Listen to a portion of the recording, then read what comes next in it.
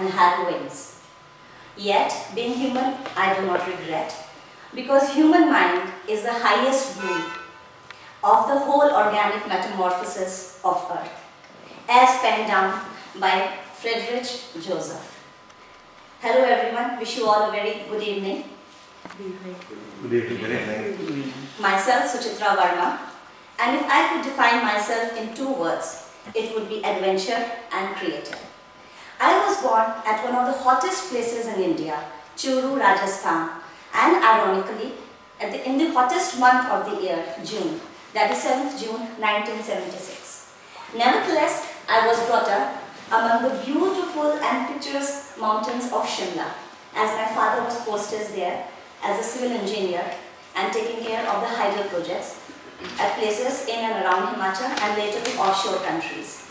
I was the youngest of the three siblings and my childhood days are full of fun and adventure.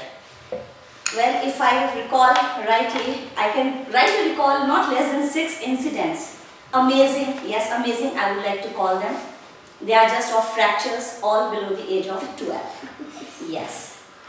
I have completed my 10th from ITBP Public School, Sarahan, as my father in those days was posted at Nathpa Jhakri Power Project. But most of the time I have lived in Shimla. I completed my graduation from RKM College in English Honours Stream in the year 1997. I would call myself fairly a good student as I have bagged scholarship twice. Other than this, I am a very keen interest in dance I have a formal training in the classical Kathak dance and I have represented my school and later my college in different performances, competitions and as well as state level as well. Other than this, uh, art and craft has always been very close to my heart. Because as a young child, I have grown up looking at my mother, you know, we are very close to our mothers.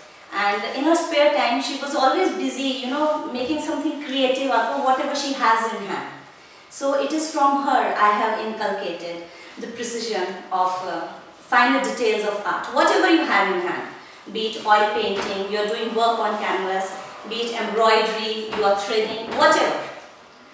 So I was preparing my, uh, I was in the final year of graduation and uh, I was preparing for my MBA when my beloved husband, Mr. Sanjay Verma, came in to see me and we tied the nuptial knot in 1997. So, the metamorphosis of my life. From the mountains of Shimla, I landed among the beautiful tea gardens of Dibrugarh. I really wanted to pursue my studies further and uh, I tried my level best but a difference of two years from being a regular student to a private student and change of universities, Himachal University to Assam University, it somehow didn't happen. In two years time, I was blessed with my first child, Mr. Rishabh Rajwarma, who's now 19 years old. And after two years, I was blessed with my second child, uh, Aditya Rajwarma. Sorry, Aditya is first and Rishabh is second. Yeah, sorry. So, uh, everything was going very smooth and nice and I was literally enjoying the bliss of motherhood. But deep within, you know, there was this pinch that you really want to do something more meaningful with your life. It was already four years down the marriage. So I spoke about it to my in-laws and to my husband and uh, they were amazingly supportive, amazingly supportive. It was my father who suggested me the idea to establish jewelry business. From English honors to gold and diamond, it was a totally different chapter for me. But my first classes comes from my father-in-law who otherwise is a established income tax consultant.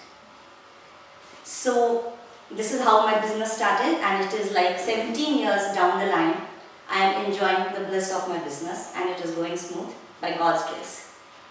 So uh, other interest than this is my travel. I am very uh, keen on traveling and uh, my husband also shares the same interest. So together in last 20 years uh, we have uh, explored more than 36 countries and it was in due course of this traveling and my very keen interest for adventure and to learn and to come up with new things. I have completed my uh, deep sea scuba diving course at Mexico and thereafter I have dived at various places all around the globe. I've been a part of two, three social clubs here in Dibrugarh and an NGO as well and doing my little bit whatever is possible from my side for the society. And it is a great sense of satisfaction to be a part of these social organizations. Toastmasters was suggested to me by one of my friends and uh, it is no doubt a great, a great platform for us to improve on our public speaking skills and to learn the leadership qualities. After joining this, I'm sure that in the coming days, we all want to make up a good team and improve on each other. Thank you so much.